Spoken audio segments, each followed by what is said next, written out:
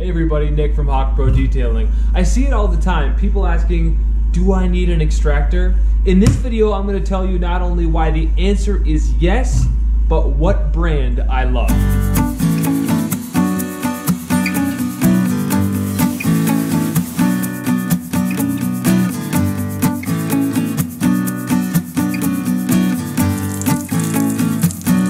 I just go back and forth.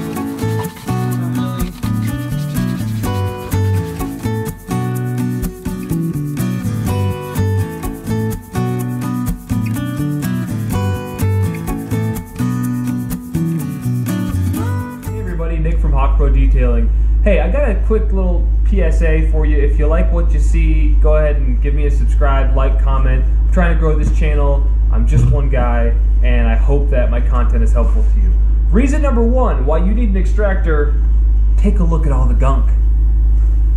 Reason number two, let's just talk about carpets. Carpets, carpets, carpets, they are everything. And when you can dial in the carpet, that means hot water extraction. You're removing all of the gunk.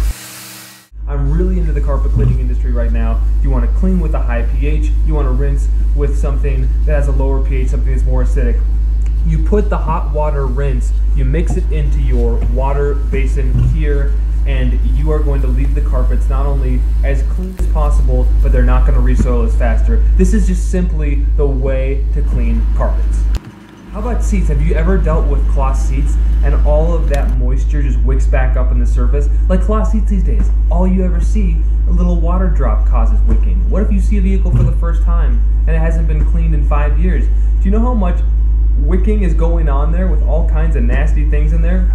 If you're not using something first to uh, break down some of the grease, usually that would be a pre-spray and then rinsing with an extractor you're gonna have problems i don't know how you properly clean cloth seats uh, as a percentage of success without an extractor sometimes you can get away with it and the wicking is not there and you do a great job but once those seats dry man if you don't have an extractor i don't think you're doing it right you know, I used to think I didn't need an extractor, right? On the forums, there's all this, you don't need an extractor, maybe get a McCulloch steamer and you're good to go, a bucket from Walmart. I'm just saying, if you want to be a detailer, if you want to do the job right, this can actually make you do the job faster. If you ever tried just with your basic carpet cleaner to go in there with a brush, sometimes you're just not actually getting the stains and you spend so long trying to get the stain out that if you have an extractor and you can properly rinse the carpets of all that gunk, I think sometimes this takes longer, but if you're really struggling, this can actually make the job go faster. And finally, I just think this makes you look the part. You know that you are doing carpets right. The more that I learn about the carpet cleaning industry, the more I realize that all the attention in our industry is on uh, paint correction, shiny cars, ceramic coatings, uh, kind of an illusion for most of us. And, and what I think is real is that people, 80% of them probably, just want their interiors cleaned. This is how to achieve results on carpets. Carpets are this weird thing. Uh, they're almost kind of like rims and wheels. When they're dialed in, everything is right with the world, but when they're not quite perfect, you don't feel like you did the job right. So, uh, my final thoughts are the extractor is a necessary tool if you consider yourself a detailer with a capital D. Can you go out there and make money detailing on the side without an extractor? Absolutely. I did it for a year.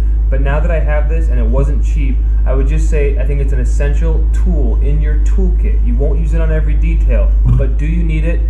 Absolutely, yes.